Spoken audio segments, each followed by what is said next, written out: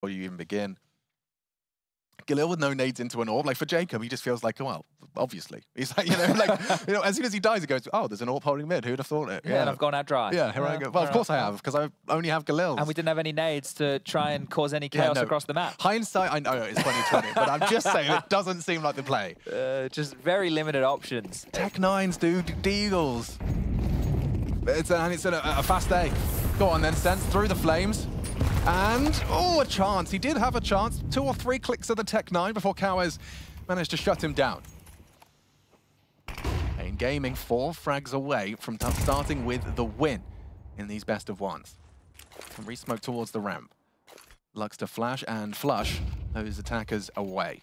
Oh, this is dire. You yeah. need a miracle from one of the Apeks individuals to pull you through this. Somebody has to get a multi-kill or a banger of a deagle shot.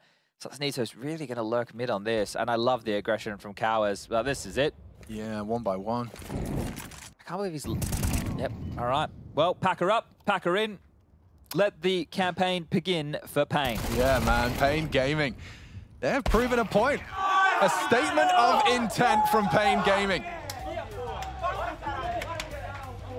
Not everyone having high expectations for this roster. A lot of unknown names and unknown entity in Pain Gaming, but biguzera pulling the strings.